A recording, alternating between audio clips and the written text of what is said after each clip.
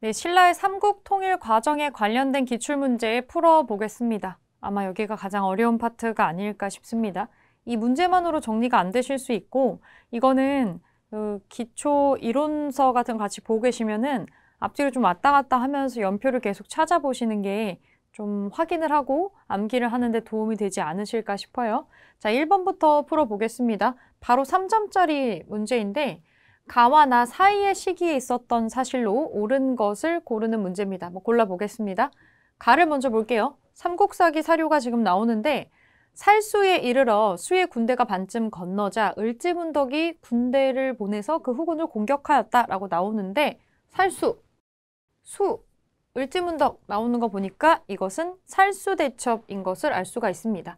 우리가 머릿속에 떠올리는 왕조 중에서 수나라 다음에 당나라예요. 일단 그거를 기억을 해주시고 을지문덕에 나오는 살수대첩이에요. 살수대첩. 7세기 초반쯤에 벌어진 일이고요. 우리가 찾아야 되는 건 여기 사이의 일인데 나를 볼게요. 신라의 군대가 당군과 함께 평양을 포위했다. 평양, 평양성을 말하는 것 같아요. 고구려 왕은 먼저 연남산 등을 보내서 영공에게 항복을 요청했다. 어, 고구려 왕이 항복을 요청하고 있는 것 같아요. 당나라에게 항복을 요청하고 있네요. 이에 영공은 보장왕과 왕자들을 대신들 그리고 20여만 명을 이끌고 당으로 돌아갔다. 이 나에 해당하는 것은 고구려 멸망에 해당하는 얘기입니다. 668년에 고구려가 당나라의 침공으로 완전히 명, 멸망하게 되는 그 사태를 보여주고 있는데 살수대첩에서 이제 고구려가 승리를 하고 나중에 당나라하고 오랜 전투 끝에 나중에 멸망을 하게 되는 요 장면이 나와요. 여기 좀 있는데 이거는 당나라 공격만으로 멸망한 건 아니고요. 나당 연합군의 협공에 의해서 멸망을 한 거겠죠. 자, 그럼 우리가 찾아야 되는 건 이 사이에 무슨 일이 있었느냐인데 하나씩 찾아보겠습니다. 안승이 신라에 의해서 보덕 국왕에 책봉되었다. 이 안승이라고 하는 사람, 요 사람은 백제 부흥운동을 했었던 사람인데 신라가 삼국 통일을 하고 나서 나중에 당나라하고 사이가 틀어지게 돼요. 그래서 당나라를 우리나라에서 완전히 몰아내는 걸 하기 위해서 나머지 사람들하고의 관계를 개선하는데 그래서 힘을 합치기 위해서 이 안승을 보덕 국왕이라는 걸로 책봉을 합니다. 네, 익산의 금마저 지역에 일종의 세력을 유지하고 살 수 있게 해주는 거죠. 그리고 군대를 같이 합심을 해서 이 당나라를 나머지를 무찌르는데 같이 힘을 보태게 됩니다. 1번이 나오는 거는 사이가 아니고 나의 뒤시기의 일입니다. 나의 다음에 나오는 일이에요. 1번은 미천왕이 서한평을 공격해서 영토를 넓혔다. 지금 2번이랑 3번 미천왕 서한평 광개도대왕 신라 침입 이거는 상당히 앞 시기의 일이에요. 사이가 아니라 가의 이전 시기 일입니다. 둘 다 아니고 연개 소문이 정변을 일으켜서 권력을 장악했다. 우리가 고구려 역사에 나오는 유명한 장군, 이름 네 글자짜리 장군 두 명 있잖아요. 을지문덕이 있고 연개 소문이 있는데 하나는 수나라 때, 다른 하나는 당나라 때 나오는 사람입니다. 그런데 지금 여기 보니까 연남산이 있어요. 연개 소문에 관련된 혈육, 아들에 관련된 이름이 지금 나오고 있죠. 이게 되려면 앞부분에서 연개 소문이 정권을 잡았다라는 내용이 나와야 됩니다. 연개 소문이 정변을 일으켜서 권력을 장악하고 고구려의 최고 어떤 권력을 차지하는 집단에 있었다라는 부분이 있고 그 다음에 이제 고구려 멸망 턴이 나와야겠죠. 그래서 이 사이로 해당하는 말은 4번으로 찾을 수가 있겠습니다. 마지막 5번 보면은 장수왕이 백제를 공격하는 거는 앞선 두 개 선지와 마찬가지로 가의 이전 시기의 일이겠죠. 그래서 정답은 4번입니다. 상당히 어려운 문제였는데 이거 두 개 연대 차이가 크게 나지 않아요. 크게 나지 않아서 조금 헷갈릴 수 있는 거였는데 완전히 아닌 거 쳐낼 수 있는 것들이 좀 있었습니다. 그거 확실하게 지워놓고 생각을 해보시면 그래도 하나씩 제거하면서 찾을 수 있지 않을까 싶어요. 1번에는 4번으로 지금 답을 찾았습니다. 2번 한번 볼게요. 2번 이것도 사일 시기에 있었던 일 고르는 문제입니다. 3점짜리고요. 한번 보겠습니다. 가를 볼게요. 고구려 왕이 뭐라고 하고 있어요. 우리나라 땅이 있는데 너네가 이 땅 돌려주지 않으면 너 돌아가지 못해 라고 약간 협박석 발언을 하고 있는 게 지금 보이고 이 협박을 당하는 대상은 신라의 김춘추가 되겠습니다. 신라의 김춘추가 왜 고구려 왕과 이런 대화를 하고 있느냐? 결국에는 지금 사로잡히는 장면이거든요. 군사동맹을 맺으러 왔다가 군대를 빌리지 못하고 억류되는 장면이에요. 결국에 고구려와의 어떤 동맹은 결렬이 되고 당나라에 넘어가서 나당 연합군을 맺게 되는데 그 내용은 이 뒤에 나오겠죠. 자, 나를 보겠습니다.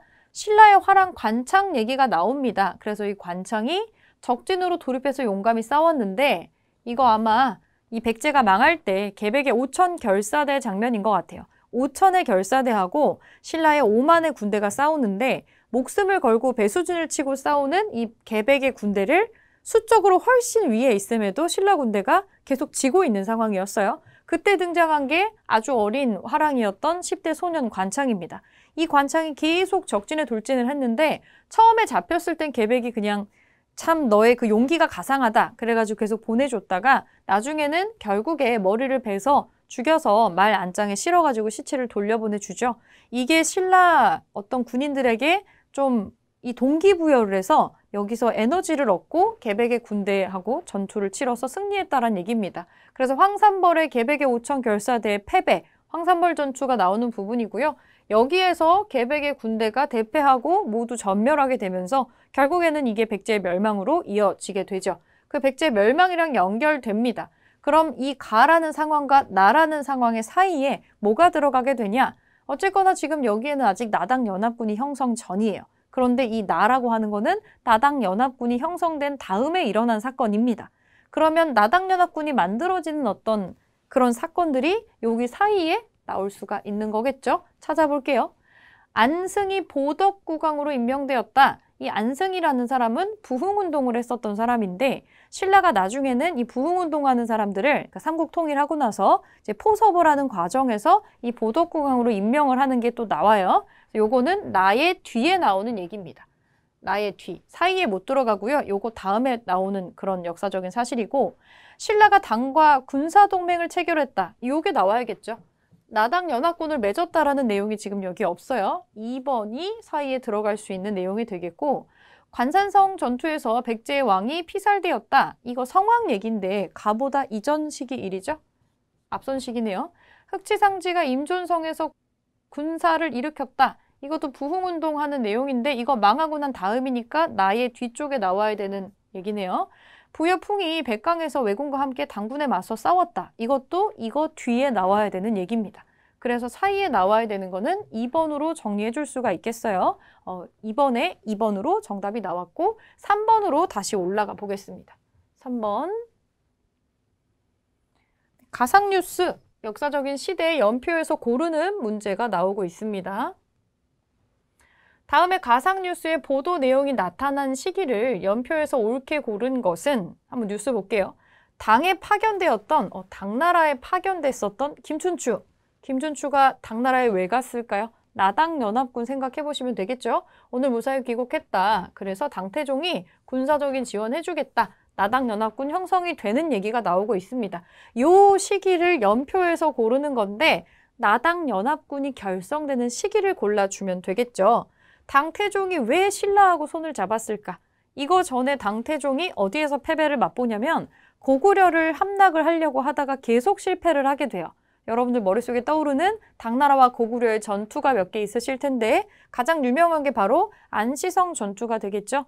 이 안시성에서 당태종이 치명적인 부상을 입고 후퇴를 하게 되는 겁니다. 일단은 안시성 전투는 벌어져야 되니까 그 이전에 있는 거는 전부 해당 사항이 없겠죠.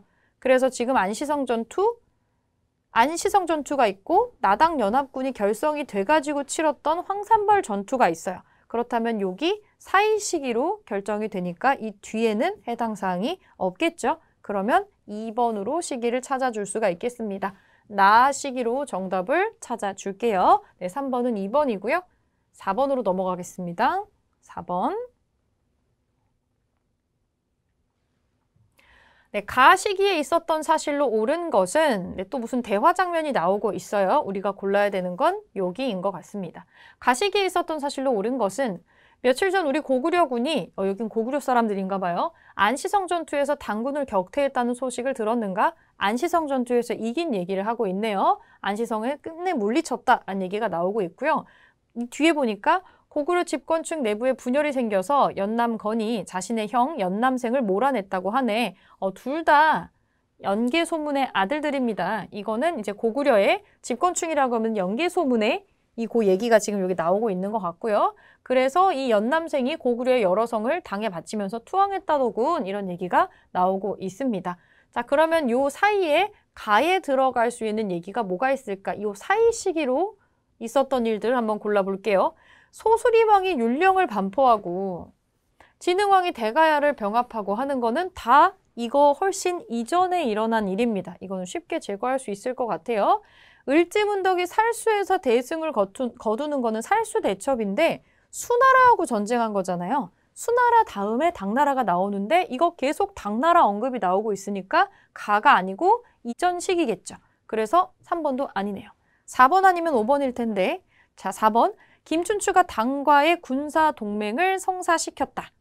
김춘추, 당과의 군사동맹, 그래서 신라하고 당나라하고 연합군이 생긴 거죠. 그래가지고 이제 고구려를 드디어 함락을 할 수가 있게 된 겁니다. 나당 연합을 맺고 나서 고구려하고 백제가 차례로 멸망을 하게 되는 거죠. 4번이 여기에 해당할 수 있는 얘기가 되겠죠. 정답은 4번이고요. 5번의 근초거왕은 시기가 4세기로 훨씬 앞당겨지기 때문에 이거에 이전으로 넘어갈 수가 있겠습니다. 그래서 정답은 4번으로 찾아주겠습니다. 네, 다음 페이지 문제 보겠습니다. 5번으로 넘어갈게요.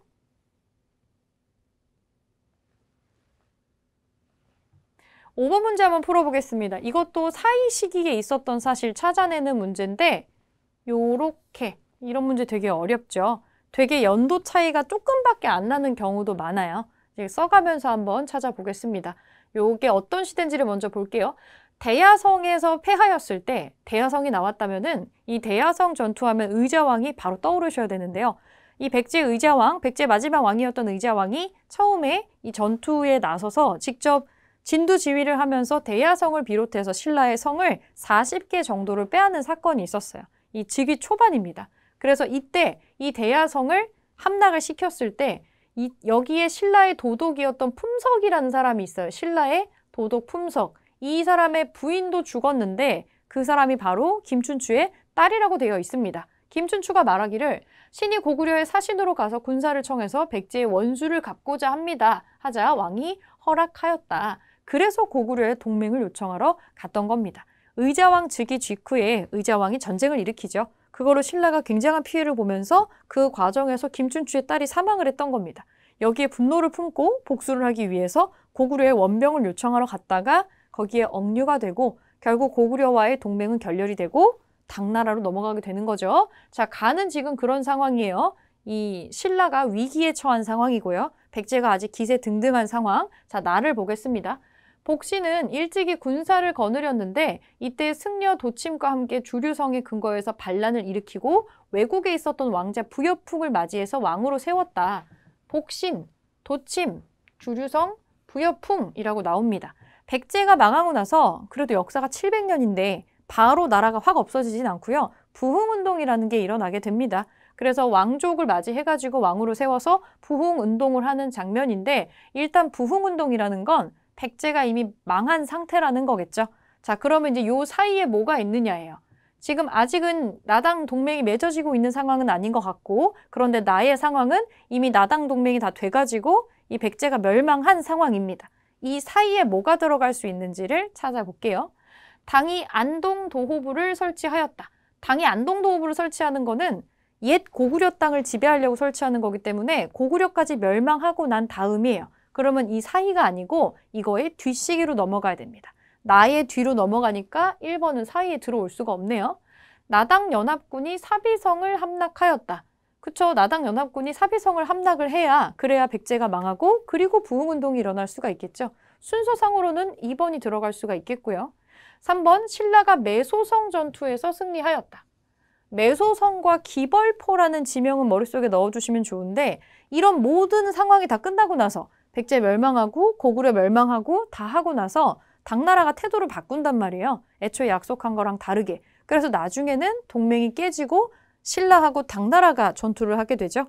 신라가 우리 땅에서 당나라를 완전히 몰아내려고 했었던 전투가 이 매소선과 기벌포입니다. 사이가 아니고 이거 뒤에 나오는 얘기가 되겠죠? 그래서 이거 아니고 고구려가 신라에 침입한 외를 격퇴했다. 이거 광개토 대왕 얘기인데 이거보다 훨씬 앞선 시기의 일입니다. 아니죠? 백제와 외의 연합군이 백강 전투에서 패배하였다. 요거는 뒷시기에 나와야 되는 얘기입니다. 연합군이 백강전투에서 패배를 하고 하는 내용이니까 그래서 사이에는 못 들어가고요. 요 뒤쪽에 나올 수가 있겠죠. 정답은 2번으로 찾아줄 수가 있겠습니다. 5번엔 2번이고요. 6번으로 넘어가 보겠습니다. 네, 6번 문제 풀어보겠습니다. 6번 이것도 사이식이 고르는 문제인데 이렇게 우리가 연달아서 실제 문제풀이에선 이게 이렇게 주르륵 나오진 않을 거지만 지금은 연습을 하느라고 여러 개 문제를 지금 풀고 있어요. 이 3점짜리 문제들 중에는 진짜 가랑 나 사이가 정말 1, 2년밖에 차이가 안 나는 것도 있어요. 그래서 연도로 외우는 게 의미가 없을 수도 있습니다. 인과관계를 알아야 풀 수 있는 문제들이 나오기 때문인데 한번 살펴보겠습니다.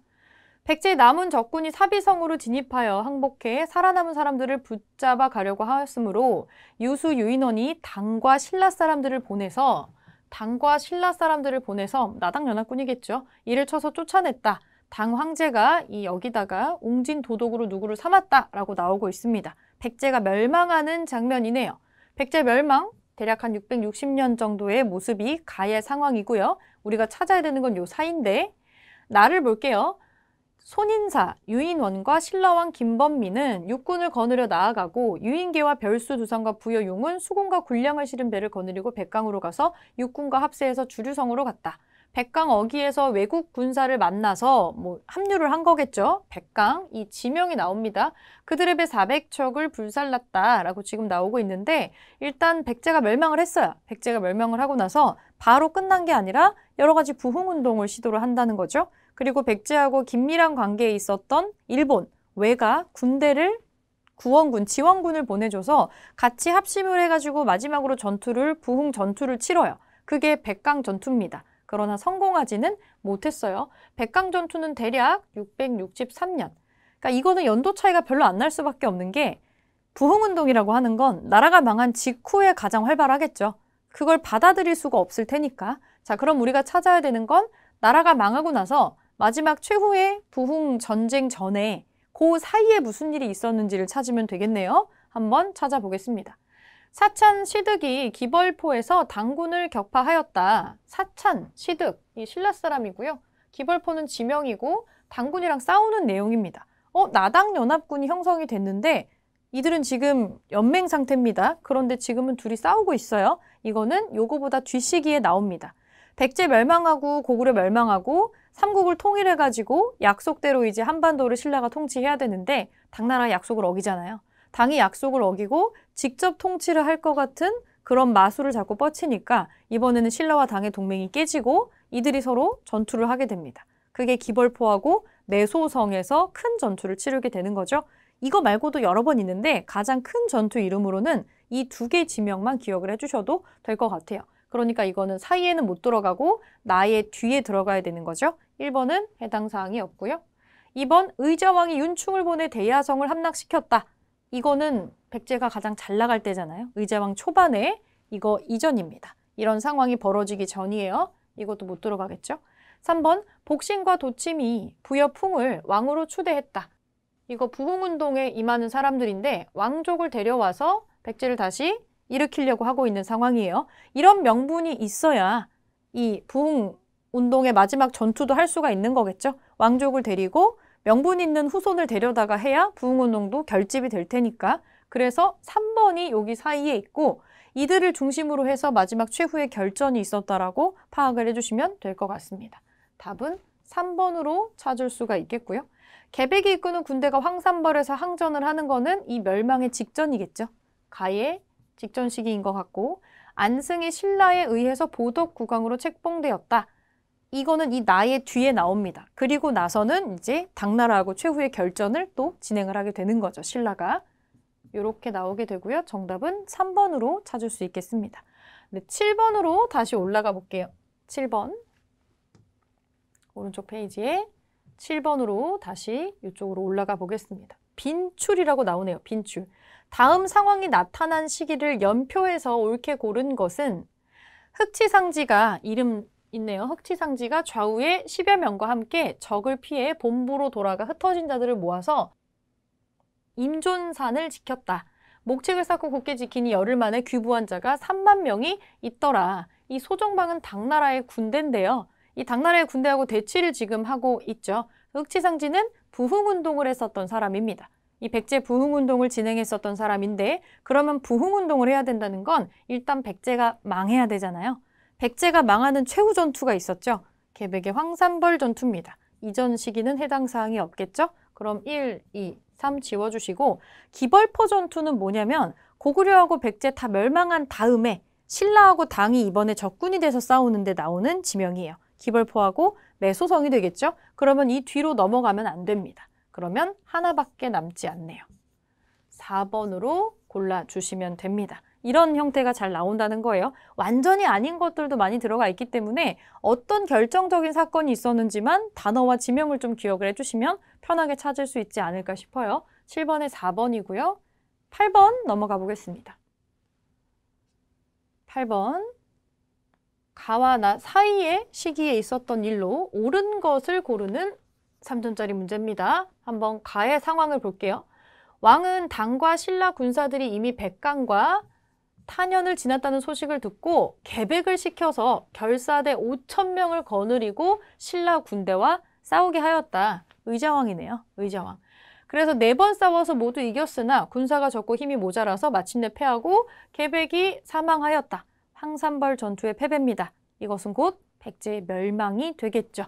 660년에 마지막 황산벌 최후의 결전 얘기 시점이 가에 해당하는 시기입니다. 나를 볼게요. 건모잠이 국가를 부흥하려고 하여 당을 배반하고 왕의 외손인 안승을 세워 왕으로 삼았다. 당 고종이 대장군 고관을 보내 동주도 행군 총관으로 삼고 병력을 내어서 그들을 토벌하게 하니 안승이 건모잠을 죽이고 신라로 달아났다라고 나와 있습니다.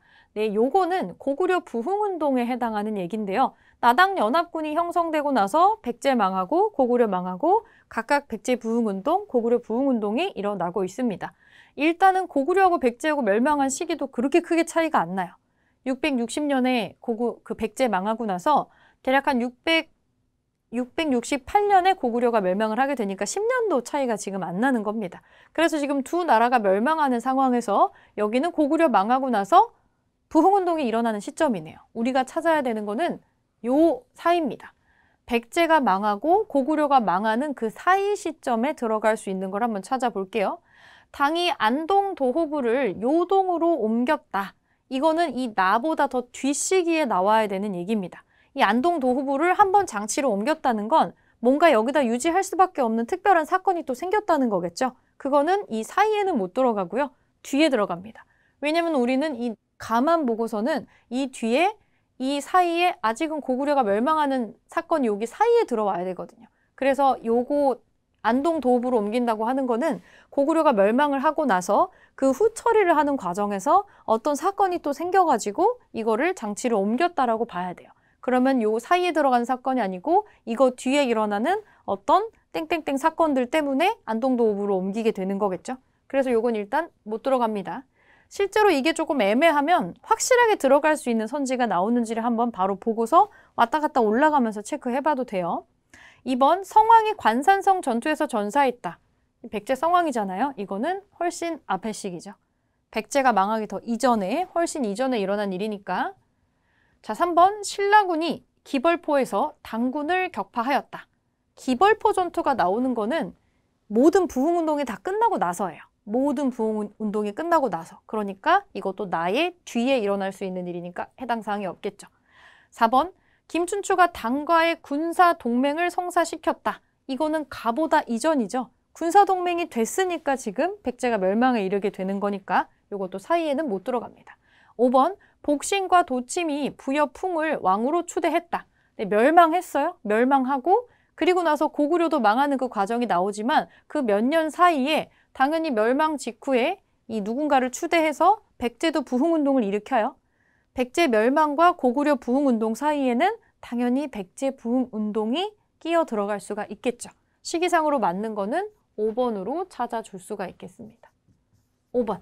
그래서 8번에 5번이고요. 상당히 나름 복잡하고 난이도가 있는 문제예요. 왜냐면 백제 거를 가에다가 언급을 해놓고 고구려 거를 나에다가 언급을 해놔서 약간 헷갈릴 수 있게 해놨어요. 같은 국가 거만 나오면 연대를 추론하기가 쉬운데 백제가 이 상황일 때 고구려가 뭘 하고 있었지? 이걸 생각하려다 보니까 조금 복잡해지는 것 같아요. 네, 시기를 유추하는 게 조금 힘든 문제였고요. 정답 5번으로 찾고 다음 페이지 넘어가겠습니다. 9번으로 넘어가 볼게요. 네, 9번 문제야 살펴보겠습니다. 9번, 다음 상황 이후에 전개된 사실로 옳은 것은 그러면 하나만 이후고 나머지는 이전이란 얘기겠죠? 요 사료 먼저 보겠습니다. 소정방이 소정방 나오면 당나라 장수 이름이잖아요. 아 그럼 이게 삼국 통일 전쟁 있었던 그 즈음이구나 이런 거 바로 떠올리셔야 되고 소정방이 백제를 평정하자 흑치상지는 흑치상지 이 백제 장수 이름이잖아요. 이분 나중에 백제 망하고 나서 임존성에서 부흥운동하는 사람입니다. 백제가 그래도 역사가 한 700년인데 나라가 망했다고 그대로 있지는 않고 이걸 다시 일으켜보려는 사람들이 있었어요. 백제가 망하고 나서 백제 부흥운동이 있고 고구려가 망하고 나서도 고구려 부흥운동이 있었습니다. 이걸 다 마무리하고 나서야 나중에 삼국통일을 완전하게 마무리하게 되는 거고요. 자, 흑지상지 휘하의 무리를 이끌고 항복을 하였다. 뭐 이 당시에는 항복했다고 나와 있는데 소종방이 연로한 왕을 가두고 병사를 풀어 가혹하게 약탈하자 이를 두려워한 흑치상지는 추장 10명과 함께 도망해서 임존산을 거점으로 반란을 일으켰다. 이게 그 부흥 운동이겠죠. 열흘 만에 휘하에 3만 명이 모였으며 곧 200여 성을 되찾았다.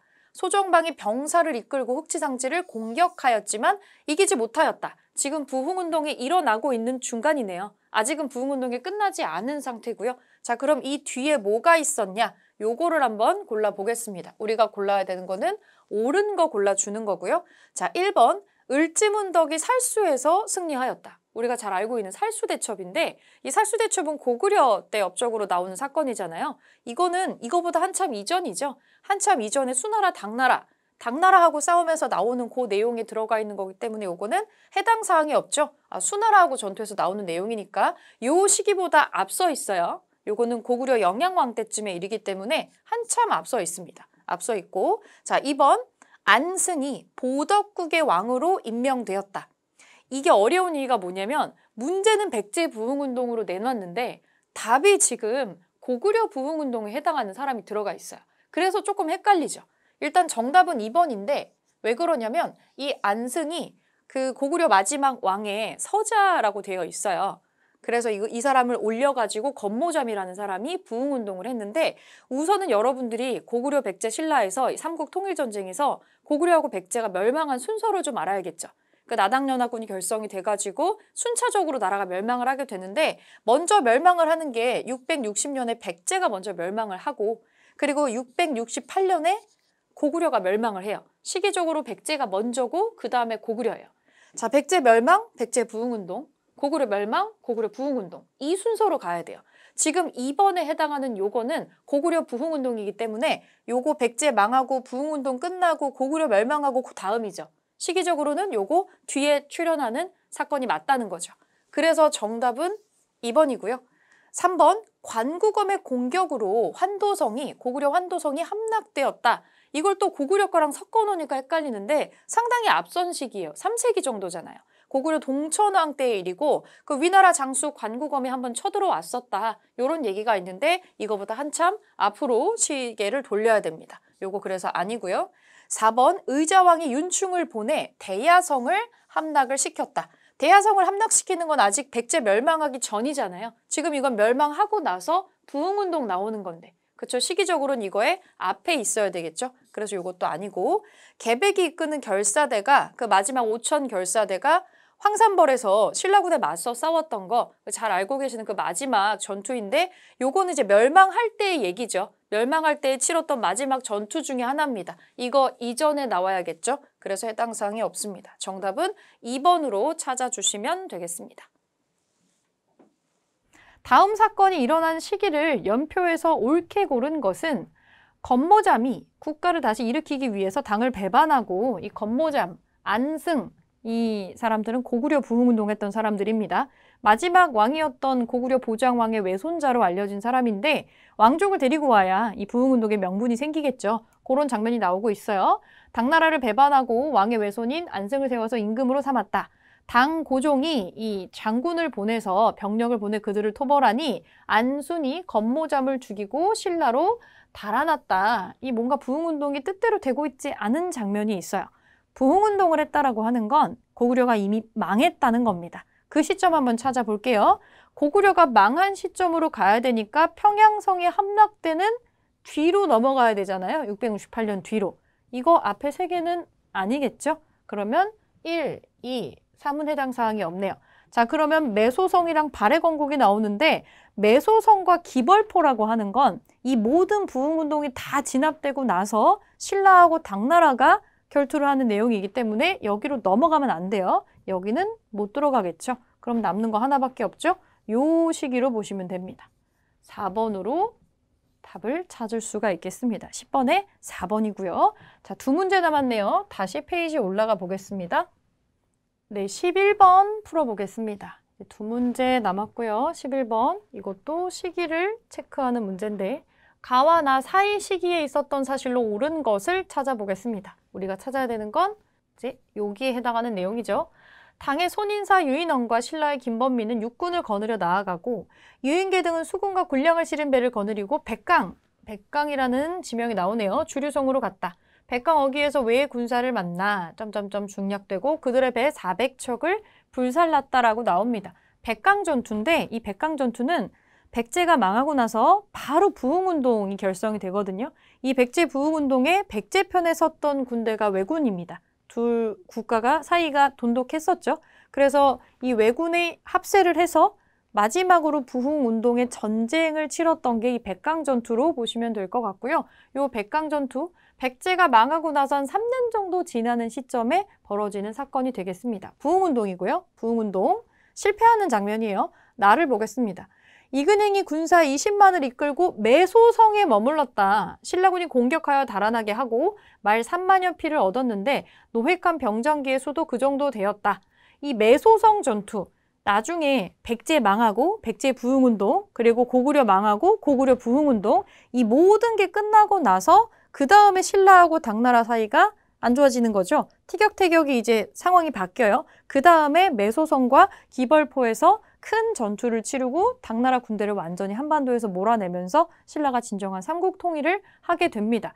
자, 그러면 이제 백제 부흥 운동이 일어나는 그 시점에 백제 백강 전투하고 이 매소성 전투 사이에 들어가는 걸로 옳은 것을 지금 골라 볼게요.